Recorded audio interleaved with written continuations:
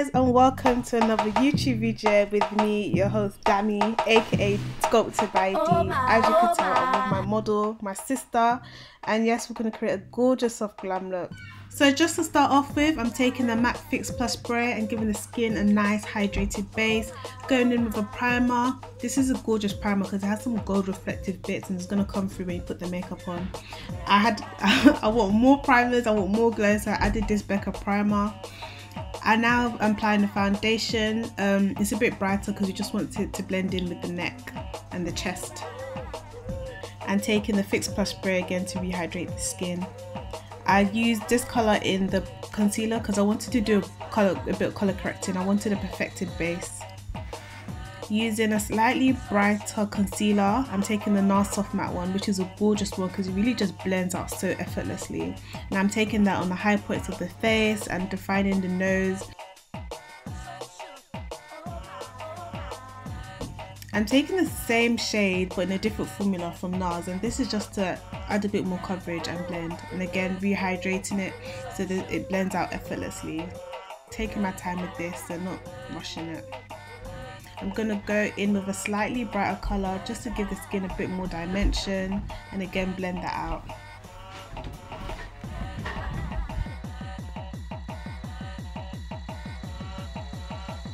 going in with the Bobbi Brown foundation stick I'm just going to use that to add a bit more definition to where the cheeks are underneath the chin and a bit on the forehead I'm blending that out with my synthetic brush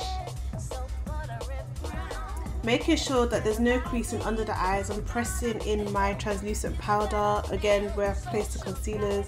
And again I'm not packing too much just light um, layers at a time. Setting all that work with the mineralized powders this is a gorgeous powder because it has like a really subtle glow. It's gorgeous on the skin. Taking just a brown to give the nose a bit of definition. Nice subtle nose contour and then I'm just going to mute out the colours of the lid using my concealer and then using the beauty blender just to blend that out now I'm taking the Inglot shadow, just a dark plum one, just to give the eyes a bit more definition and I'm going in with the crease. And to prevent any fallout, I'm just taking a bit of the loose powder and pressing that under the eyes. Taking a, a fluffy brush and just blending out the edges and then re-intensifying it, going in with a deeper colour in the crease. I'm using some glitter glue and I just like to use this one just to make sure the eyeshadow sticks and the colour comes off a lot more intense. And I'm taking the brown eyeshadow that I used earlier and just to blend out the edges of that and going in on the third third of the eye. I wanted to add a bit more definition to the look so I'm going with red more of a burnt orange look into the crease and again I'm blending that out using my brush.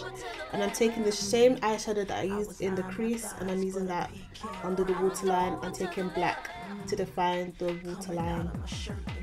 Using um, my Illamasqua gel eyeliner I'm using that to give the just to give a soft wing not a bit too dramatic Using the I Love pencil, I wanted to create just a soft brown, nothing too dramatic, and I'm using that and slowly building the colour, then taking the LA Pro Girl concealer and just to give it a bit more shape, sharpness and dimension.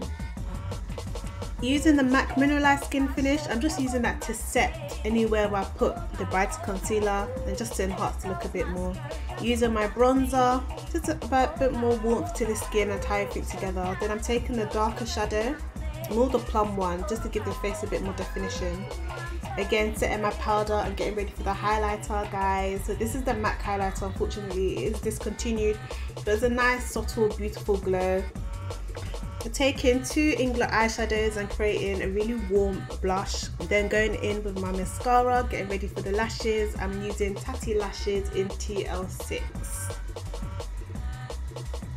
I wanted to add a bit more definition to the brow so I'm taking the Anastasia brow palette and I'm using the LA Pro Girl concealer and just to reshape the brows a bit more. Bottom and top to really carve out the desired shape that I'm after. And again just blending that out. Taking chestnut lip pencil just to give the lips a bit more definition. Then I'm going in with the liquid lipstick from MAC from MAC just a nice matte one which is a really pretty nice neutral color for deeper skin tones and then my favorite Kiko lip gloss to finish that off. And yes that's the final look guys. Thank you so much for watching and tuning in. Don't forget to like comment and subscribe and see you on the next one. Mwah!